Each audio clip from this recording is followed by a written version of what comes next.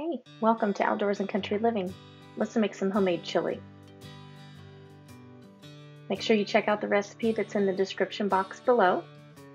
We're going to need two quarts of home canned tomatoes in their own juice, two cans of chili beans in sauce, kidney beans and black beans, some salt and pepper, some chili powder. This is our favorite chili powder two pounds of ground venison. You can use two pounds of any kind of ground meat of your choice. One onion and the equivalent of one bell pepper that we grew and vacuum sealed and froze. Gonna need a large pot to put all of this in. Let's get started making this delicious homemade chili.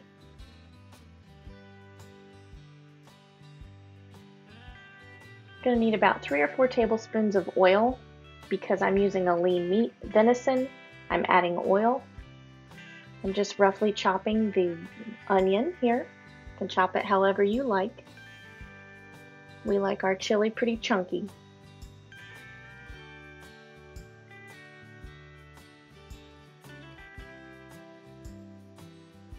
In goes the bell pepper.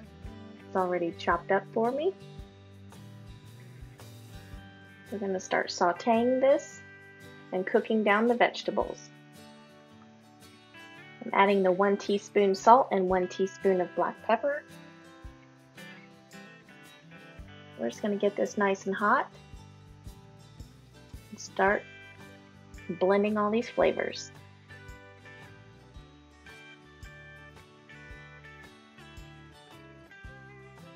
Let's get our tomatoes opened. So I just use a butter knife to open my lids. I like to do as little damage to the lids as possible because I do reuse them. That's another topic for another day. So these are canned tomatoes we did in 2020. We're still using up our 2020 stock. Don't those look good? Alright, so the vegetables are continuing to saute and cook down. I'm going to be adding a tablespoon of garlic powder.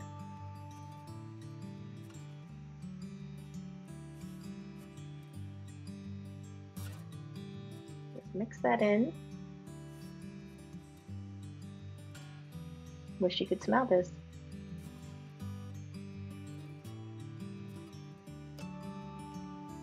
Next, we're going to go ahead and add in the meat, and this meat is mostly frozen. I often make chili with frozen meat. We're just going to put the lid on and let that steam and cook down a little bit. Meanwhile, let's drain our kidney beans and our black beans. We're going to drain and rinse both of these just because you don't want the pastiness of these beans going into your chili soup. I'm just using some cold water, getting any extra beans that are left in the cans out.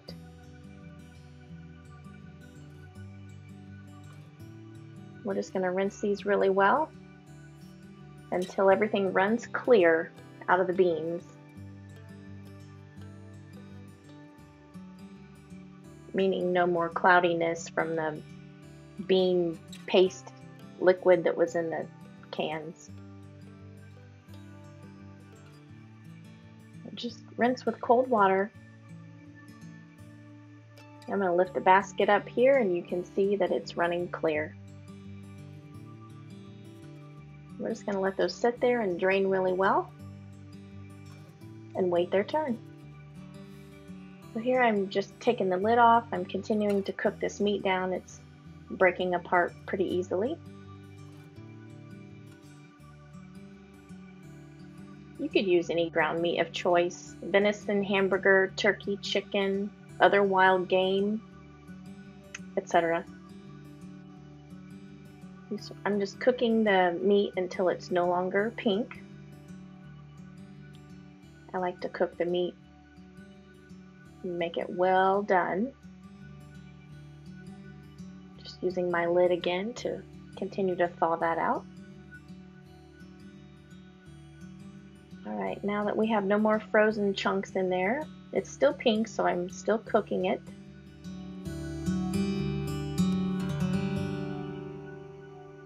I want to make sure that meat is all brown before I add any other ingredients.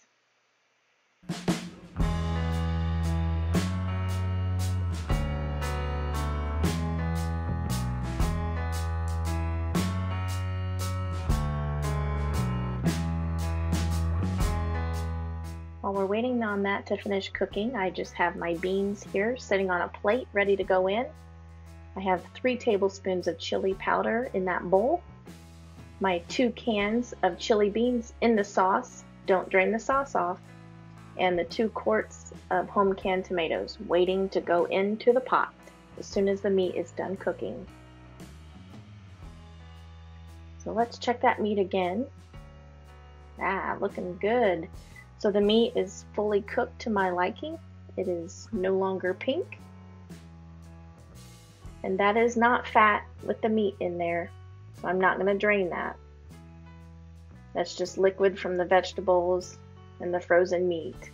Now I'm adding the beans, both cans of chili beans with the chili sauce that's in them. If you're using a meat that does have a lot of extra fat or grease to it, You'll want to drain that off so your chili is not greasy. In goes black beans and the dark red kidney beans. Stir that around. We like a lot of beans in our chili. If you don't care for this many beans, you could leave some out or change them up if you want different kinds.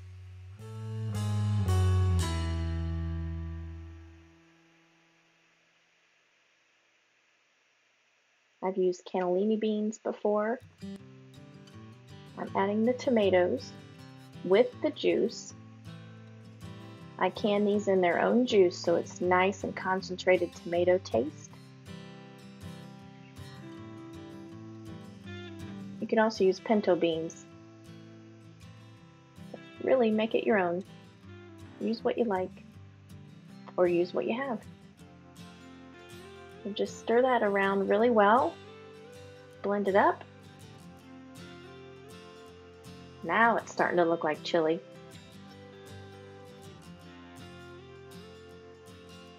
In goes the three tablespoons of chili powder.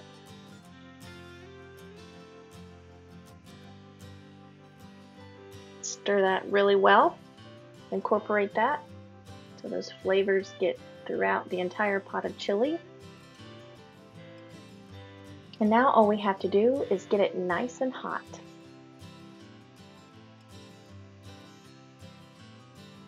Once I get it all stirred really well, I'm just going to put the lid back on it and get it nice and hot.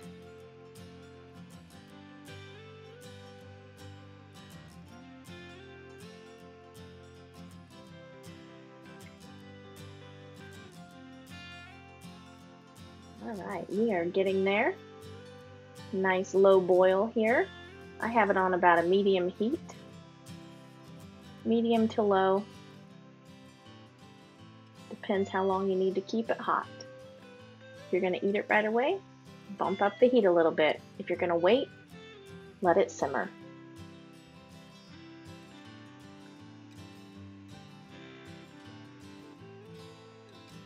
So I don't know about you, but at our house we serve chili in various ways. We'll have it with celery and peanut butter, a little half of a peanut butter sandwich, or cornbread, cheese and crackers. It varies each time we have chili, it seems. Sometimes we add in some shredded cheese, some sour cream, some hot sauce, some cowboy candy.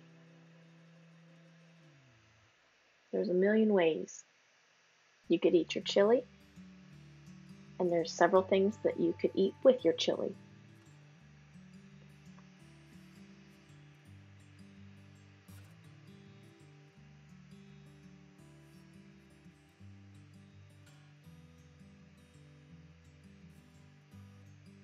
Thanks for sticking around and seeing how we make delicious homemade chili,